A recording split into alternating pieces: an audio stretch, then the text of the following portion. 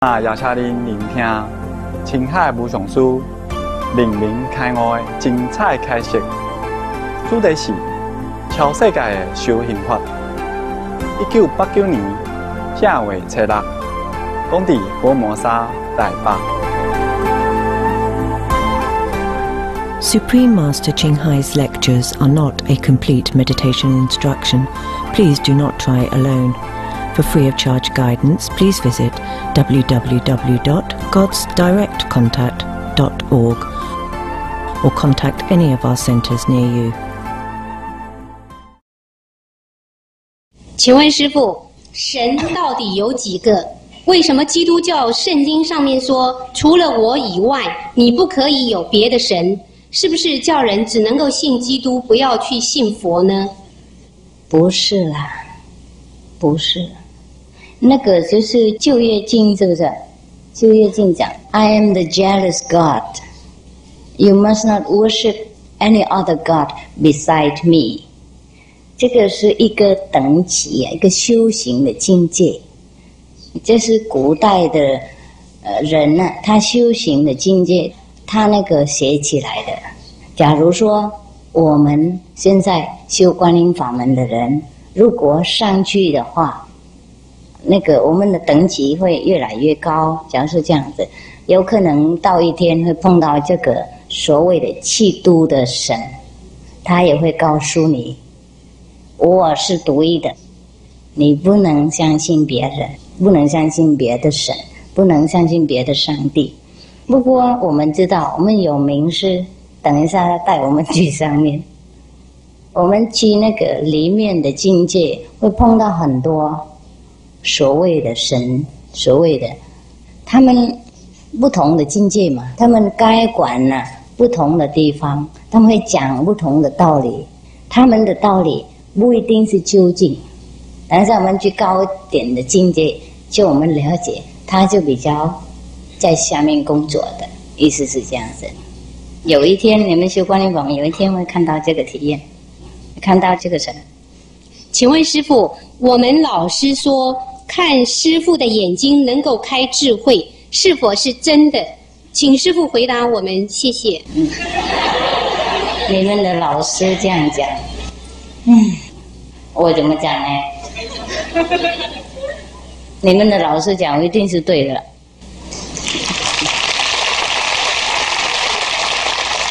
他是你们的老师嘛，嗯，我不能说你们的老师不对，嗯，请问师傅，弟子好想离开这个无常的世界，不再回来，但是却又非常依恋这个世界，到底为什么会有这种矛盾的心理？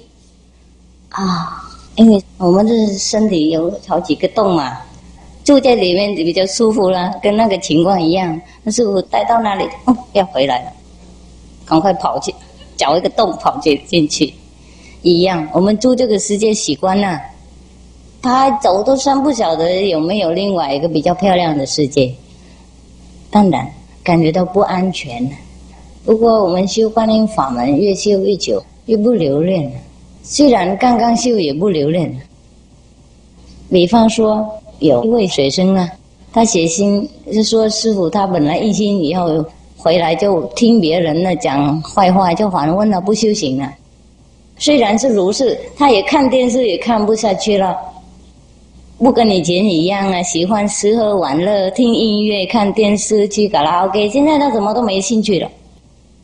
就是他没有修啊，没有相信师傅。嗯，他也听别人，又回去吃混，也还是这样放得下世界，自然会放得下。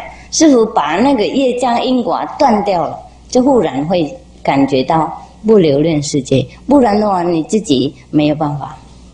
听懂不懂师傅意思？被绑嘛，师傅把那个铁链呢、这样子，就就自然的自在这样子。去观音法门呢，自然会不留恋。嗯。请问师傅，每个星期天晚上在台湾广播电台，大师的开示录只有半个小时，太短了，可不可以延长呢？你们认为呢？师傅会考虑，在电视弄半小时已经算很长了，是不是？电台已经算很长了吗？我们会考虑哈。请问师傅，我是天生阴阳眼，所以常常会看到一些鬼神，感觉到很困扰，不知道该怎么办，如何去克服，不要看到它呢？哦，这个因为你没有开天眼，呢，开鬼眼，嗯，那有办法，有办法，可以用那个东西贴上去 盖起来，会会有这种人。我的师傅啊，好久以前，他还没修行以前，他就乱打坐嘛，啊，这会看到很多乱七八糟的事啊，嗯。嗯，然后他就拜托他的师傅啊，把这个眼睛盖起来，这以后就看不到了。嗯，他修观音法门了以后，被这个东西干扰啊。因为从这里可以看到台南那里他们都做什么坏事，而是鬼魔都做什么事，这对我们没什么帮助。所以这个也可以有办法，修观音法门也会盖，嗯，盖那叫鬼眼。请问师傅。您所说的观音法门，是不是和六祖慧能大师向五祖弘忍问法，或者是和五祖所传的而开悟，是不是一样呢？是一样。请问师傅，弟子平常都会感觉到神明在前面，请问师傅，这是弟子的幻觉，还是暗示什么东西？有可能是幻觉。就是你试试看念你的咒，他会不会跑掉？嗯，那不管他，不管他就好。请问师傅，我们做善事的时候不应该求得报答，但是自己做好事的时候，当时虽然不去想它，但是经过一段时间以后，那些情景又重现在脑里。请问这是什么原因？有没有办法去克服它？啊，没关系，想就好了，就不要求报答就好，想也没关系。如果想的时候继续再做，懂不懂？不是说他要提醒你多做一点的。请问师傅，我没有印心，但是我有两次的经验，像是出魂，像这种现象是由脚开始麻，而且有一点颤抖。而后一直升到天门，当出魂的时候，耳朵的震力很大，但是也可以感觉出它是由脑部出去的。第一次我马上把它拉回来，因为心里很害怕。第二次我任由它出去，结果我看到释迦牟尼佛和观音菩萨，但是都没有说任何话。请问这是什么原因呢？有的时候。我们不应该珍视印心，听懂不懂？师傅有讲了，毕竟有很多种类，有的是化身来，有的是自己祈求来，有的是正式，就是呃面对面一心，那个是最完美。呃，因为有的人来听师傅讲经而已，也有体验了，懂不懂？在这里也看到佛啊，也不应该讲什么那么隆重的事。所以，才说起科开悟，呢，真正的有人起科开悟，每一次师傅去讲经，都有人有体验嘛。那有看佛、看菩萨，或是有开智慧，有时看到光，或是看到师傅的法身等等，那都是算开悟的。呢，啊，那恭喜你嘛，没事。嗯，不过也要来应信。嗯，请问师傅，如果一个乖巧的媳妇。为了家庭的努力工作，补贴家用，从早忙到晚，亲戚朋友都夸她非常的贤惠。可是婆婆却经常拿她当出气筒，甚至于诅咒她去死。这种痛苦的环境，旁人应该如何去帮助她呢？旁边的人，旁边的人看到不忍心，要怎么去帮助她？唉，你帮不住。那个媳妇和那个。婆婆就是出名的故事，是我讲好了了，那大家都知道了。最可怜的故事，她也可以搬出去住啊，搬家到另外一个地方去啊，然后送钱，而是跑来跑去侍奉婆婆，这样有可能两个都和平，嗯，婆婆也安心睡得着，媳妇也可以松一口气，不然的话没有别的方法。即使住这样子的话也不远，因为台湾很小，跑来跑去就碰面了。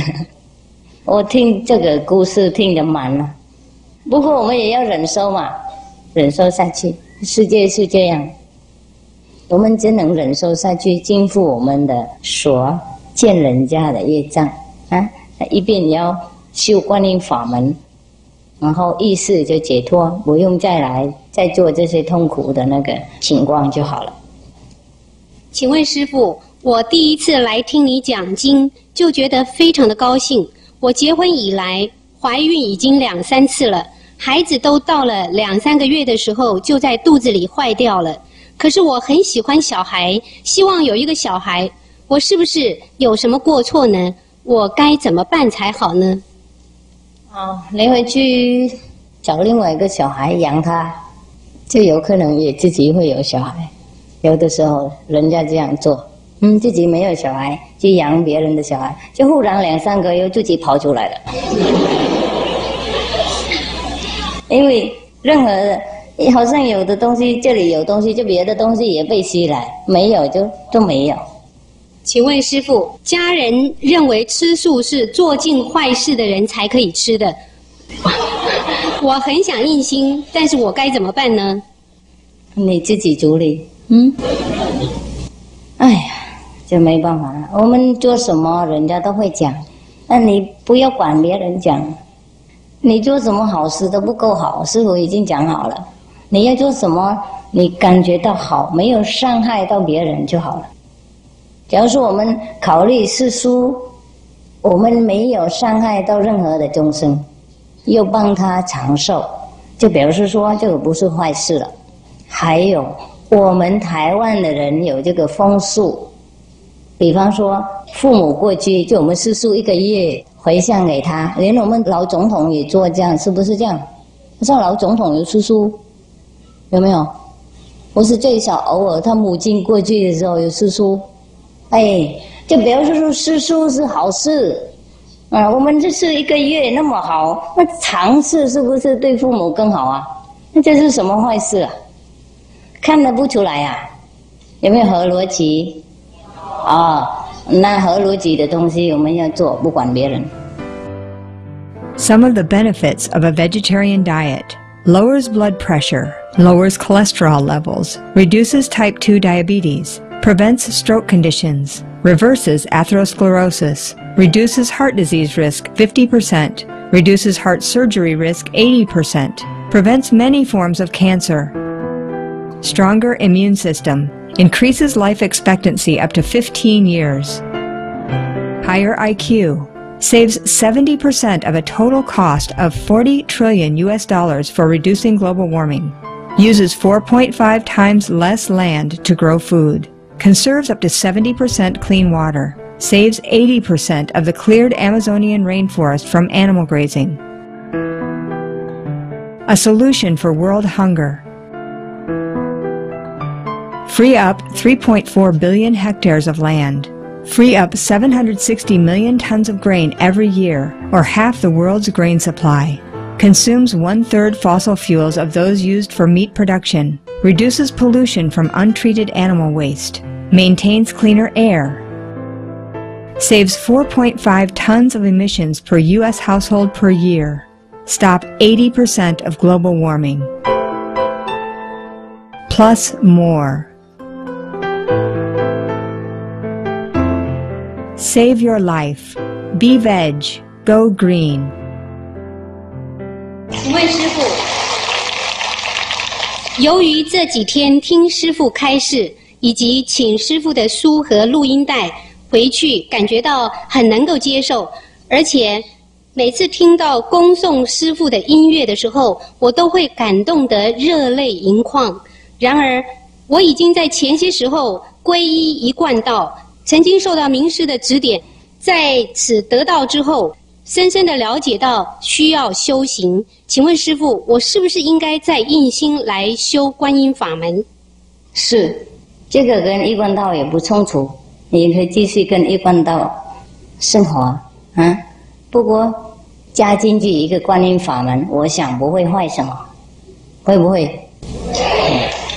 就是一贯道还没有教观音法门，那师傅教观音法门，那加一朵花进去，懂不懂？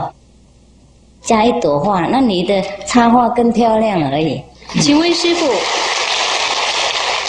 做皮鞋的人算不算也间接杀生？不大酸，小酸。不过为什么不大酸呢？因为多数的人杀生不是为了皮，懂不懂师傅意思啊？杀那个动物为了它的肉啊，用它的身体。这个皮就是因为不是药嘛啊，它丢掉在旁边就用做皮鞋，所以也不大酸了。不过我们做的时候，如果我们修行多，我们也会感觉到它很痛苦啊，所以我们会不忍心。请问师傅，印度的恒河在电视上说非常的脏而且乱，正在整理。请问师傅，那条圣河到底干不干净？有的地方是非常非常脏，脏不可言，懂不懂？我没办法受得了，看了也不想看了，何况讲什么？不过有的地方非常非常干净，beautiful，好干净。我从来没看过一个河那么干净。因为它种很高很高的山呢，高好高高，没有人走过一步下来的。那个地方是否去过嘛？去过那个恒河的源头那边，它种那个水呀，融化出来了，哒哒哒，一堆掉下去，好漂亮。你喝的时候，哎，也不管这个是神地或是圣地，你感觉到精神好快乐，好凉啊，好干净啊。哦，这个不能讲啊，你自己走就知道。下流哈，最低下流那个就是 Varanasi，是在路远那些地方呢，就是很脏。因为为什么呢？大家都丢狗啊、人啊、猪啊、牛啊，通通都丢在那里。人呢，呃，被烧一半。假如说他们印度的人呢有那个华葬的传统，通通都华葬了。他们都有这个信仰、信心的哈，很古的风俗是这样子。死掉的人，如果能在那个路远那方面，那那那些地方哈，Varanasi，在那边华葬的话，那个灵魂不一定超胜的。他们这样相信，所以哦，大小男富老幼穷有钱，通通都到那里华葬。然后有的人没有钱呢，木头买不够。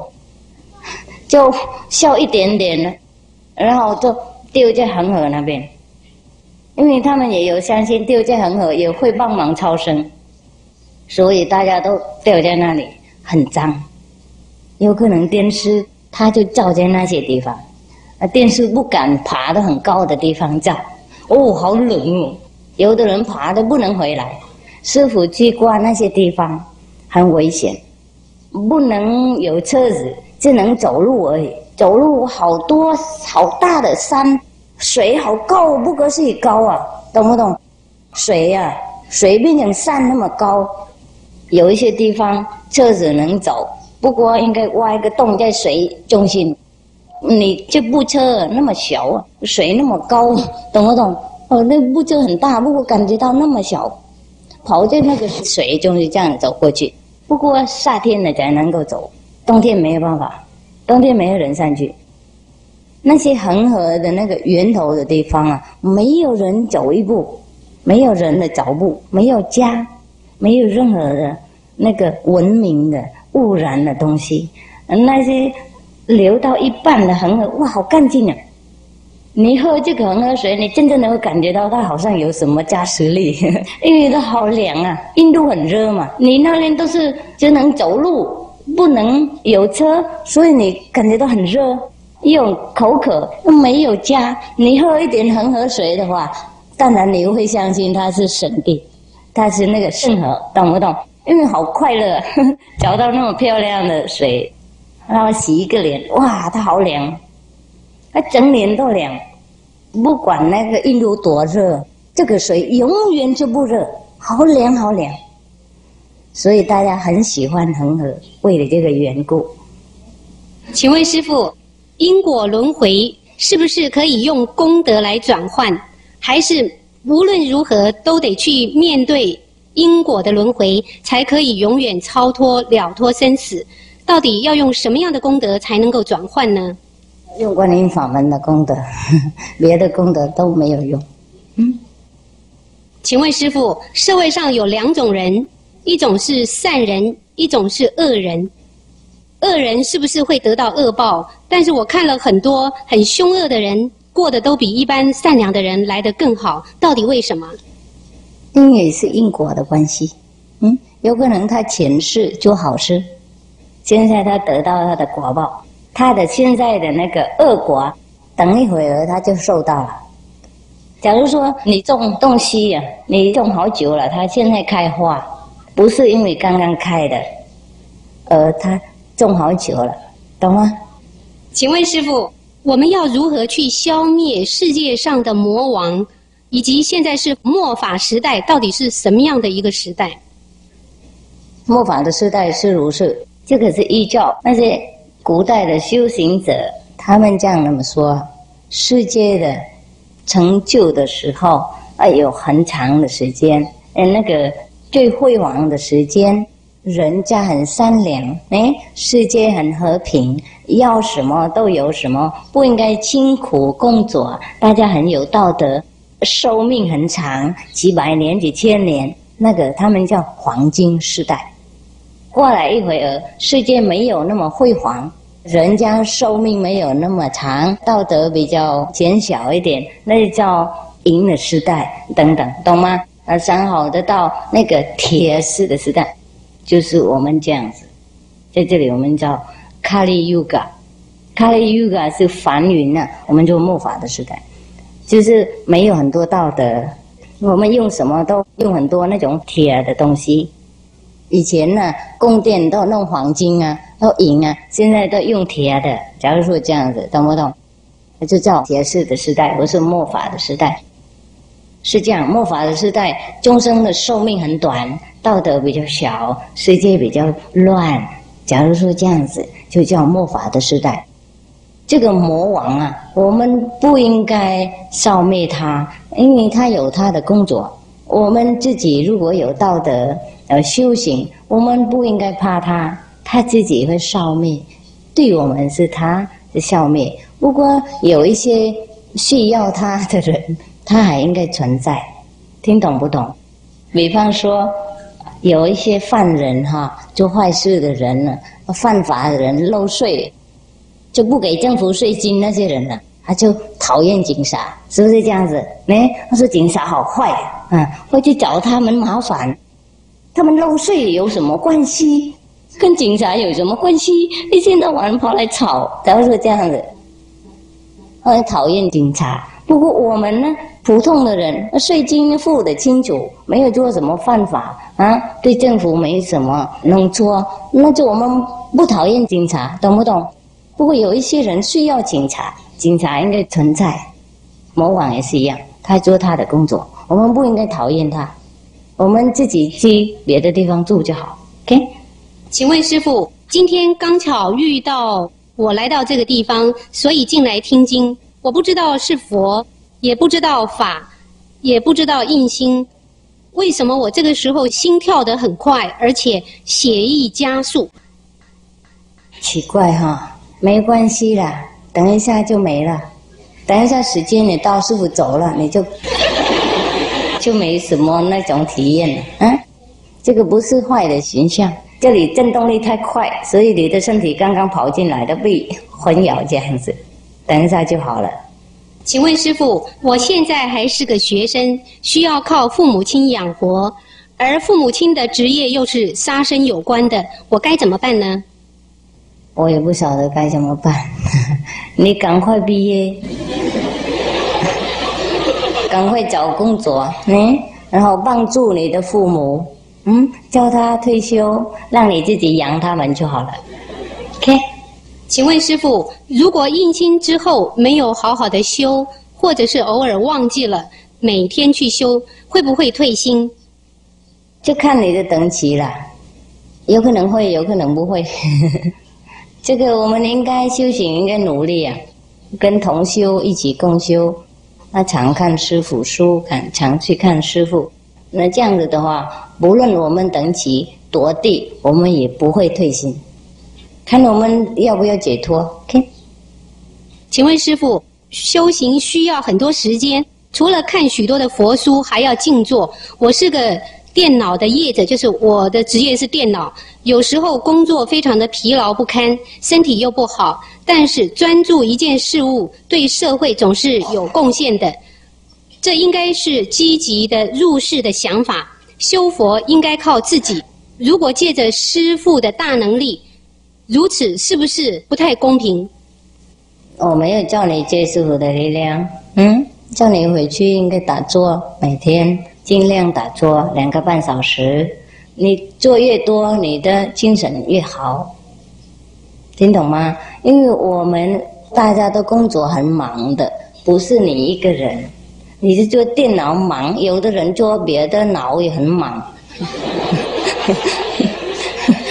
这不是你一个人忙。哎，师傅不叫你贡献那个社会，而叫你一个方法贡献比较多。我们精神快乐，身体的好，没有压力、业障的压力，我们贡献的能力在增加。懂不懂师傅意思？不是你做那个小小的电脑工作就贡献社会那么多了。在日本呢，多数的工厂啊，他们都送他的工人呢去跟禅师学禅，免费送的，送他们去那里，老板给钱的。为什么呢？因为他们老板都知道，谁打坐的那些人回来了非常好，很有规律，很有那个。工作的那个头脑传很快，而，工作增加好几倍，所以他们不亏本了，所以他们愿意给他们的工人的钱，先去跟那个禅师训练打坐，闭关好几个礼拜等等，然后再回来工作的。所以呢，我们靠我们小小的反复的能力，我们不知道这个修行的功能是不可思议的。修行的人在真正的帮助国家多几倍。